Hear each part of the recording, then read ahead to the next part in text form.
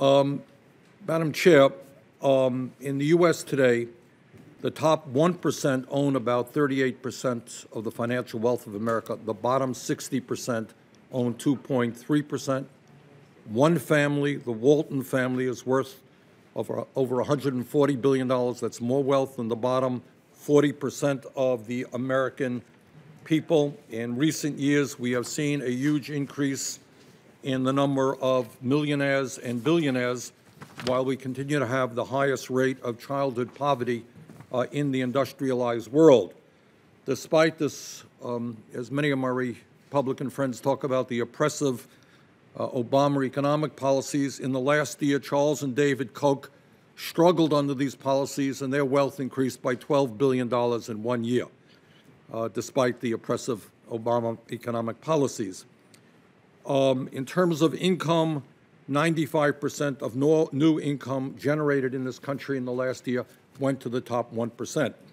Now, a study which I've just introduced into the record uh, by two uh, professors uh, from Princeton University, Professor Martin Gilens and Northwestern University Professor Benjamin Page, basically suggest that while historically we have considered our society to be a capitalist democracy, we may now have entered into a phase where we are an oligarchic form of society.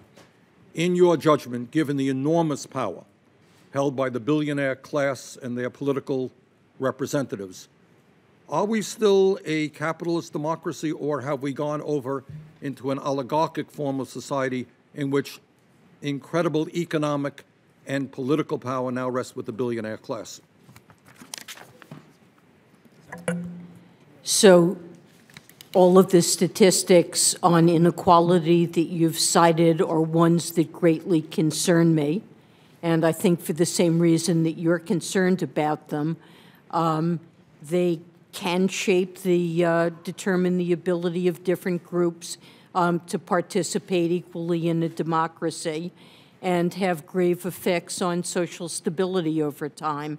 And so uh, I don't know what to call our system or how to, I prefer not to um, give labels, but uh, there's no question that we've had a trend toward growing inequality, and I personally find it a very worrisome trend that deserves the attention of policymakers. Thank you. I mean, I, I think the point that the professors are making and, and others have made is that there comes a point where the billionaire class has so much political power, where the Koch brothers are now, because of Citizens United, able to buy and sell politicians. They have so much political power.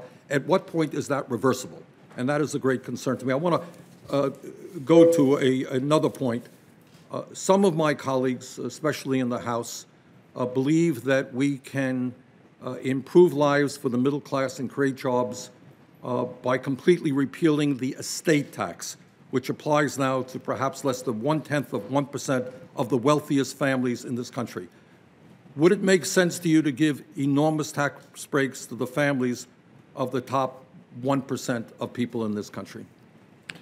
So I've indicated that I share your concern with inequality, but um, I guess I'm going to say on this that it's up to the Congress to decide what's appropriate, and there are a number of different ways to address it that that certainly is on the list. All right. Well, let me ask you another question.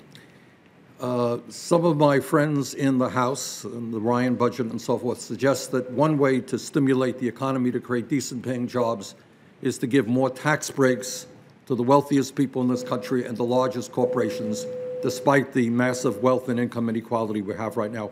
If we give tax breaks to the Koch brothers, who are worth $80 billion, do you think that's going to create a whole lot of jobs in this country? Well, I'd say most of the evidence that we have suggests that transfers to lower income people tend to be uh, spent, a larger fraction of a dollar is spent than when there's a transfer to a wealthy individual, but changes in tax policy, so that's from the demand side.